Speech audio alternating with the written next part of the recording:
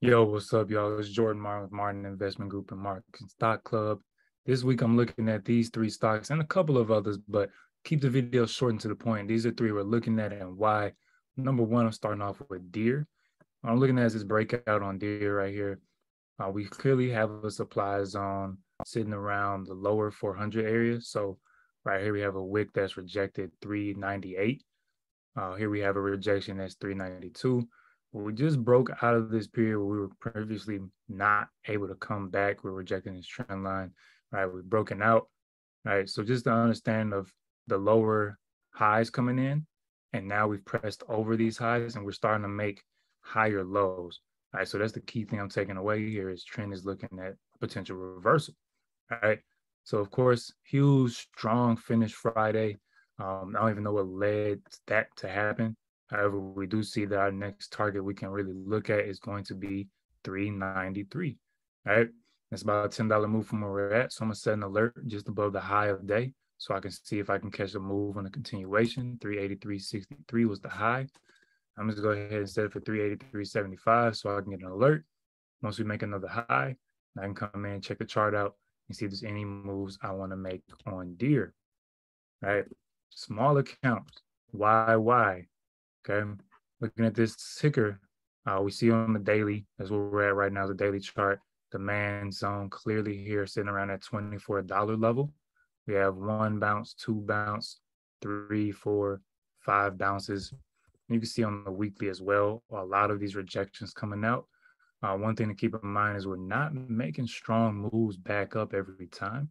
So here we did have that shoot back up, but not nearly as high as it did last time right? So it is something to keep note of.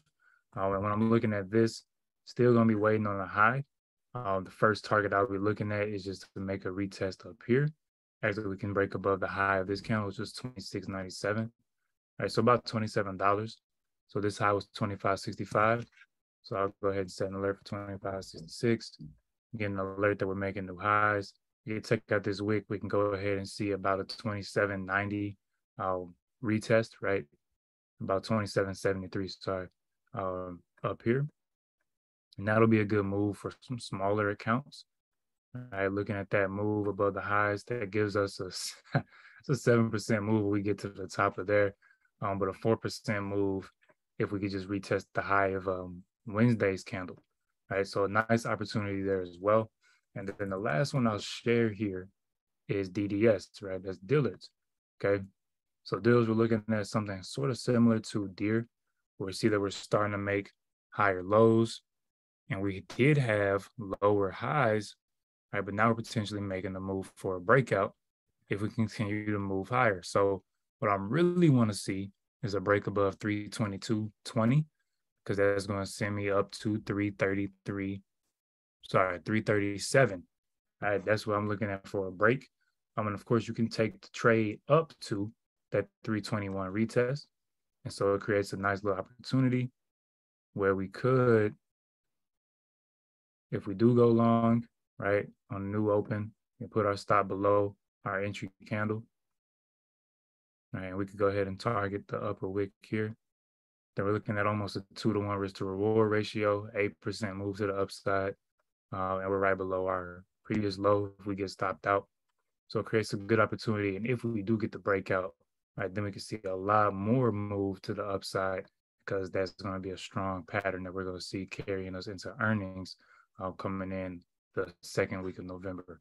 So there's three stocks I'm looking at for the week. Like I said, there's always more. We go over these in a Discord where we call out trades every single day. We live trade every single day. And we do what we can to support our members and make sure they can learn and earn daily with the group who cares to make that happen. Yeah, anything you want to add, put in the comments, questions, comments, concerns. Always subscribe, put notifications on if you want to see more videos and get alerted when I drop them.